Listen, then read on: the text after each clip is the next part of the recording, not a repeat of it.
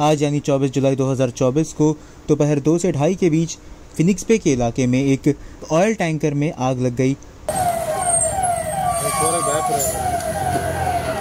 Cabin में लगा पहले कैबिन में। और तुरंत ही दमकल विभाग को बुलाया गया और आग पर काबू पाया गया।